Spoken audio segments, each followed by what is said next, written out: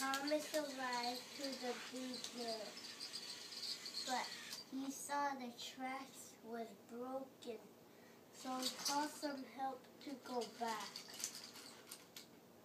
So he asked for help to go that bridge. So that car just took his hook and put it on the track and lever it up.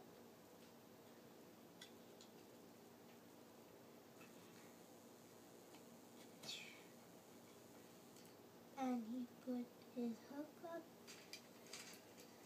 and said, thank you. And he went up the hill and he crashed. So the car just get Thomas up and bring his lever and put it on the